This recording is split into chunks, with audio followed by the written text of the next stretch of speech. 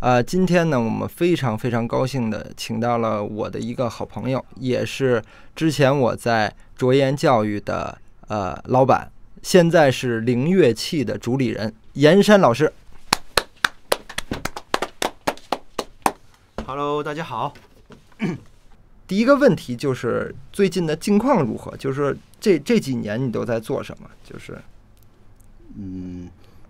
这个这几年其实这个应该是从来没有离开过声音的探索这个圈子、或者这个事情。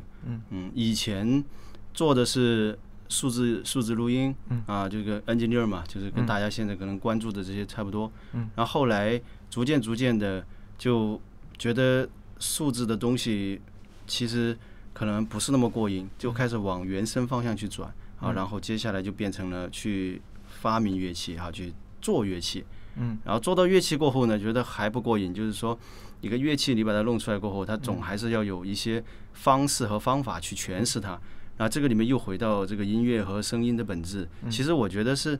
越做越做，这几年其实反而就又回到了最早感觉。当年可能零四年来北京的那种梦想的时候那种状态点吧，嗯，我觉得其实关键的问题就是说，以后我们如果想从事录音或者是这个技术类的工种哈，我觉得以首先就不要把眼睛局限在只是音频的技术上，嗯。啊，一定是要展开，可以扩展到就比如说，我觉得从技术角度啊，比如说什么声音设计啊，嗯。啊，比如说一些呃呃一些，比如如果有这个能力哈，去了解一下声音引擎的一些开发呀，嗯。因为这些技术的东西才是未来的，就是从从技术角度的一个发展方向，嗯嗯嗯嗯还有它的应用场景啊，还有一个。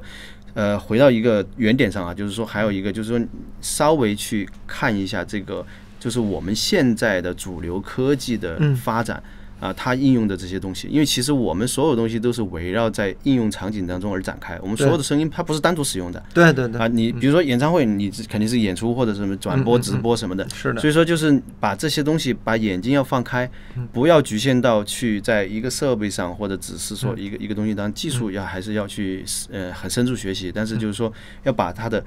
宽度可能就要拉宽了嗯啊。这个是我觉得这个是一个是一个非常重要的。嗯嗯呃，不过很好，我觉得就是你带头做做出来，而且你现在就在搞这个手碟的培训，对吧？？对，啊，我觉得也是应该把这么一个很好听的乐器，我觉得其实嗯能更怎么说更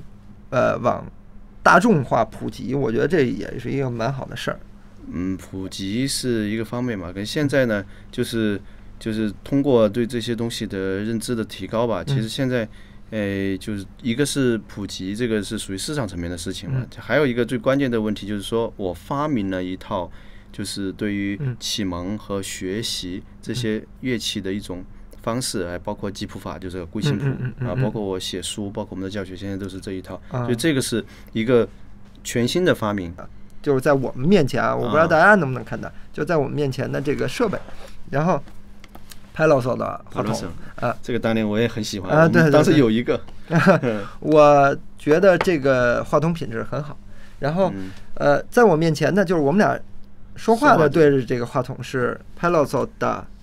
呃 P 四九这个型号，嗯，就是这个，长得嗯，很好看啊。那我们废话不多说，然后那我们就让严老师给我们来一段，好好吧？嗯。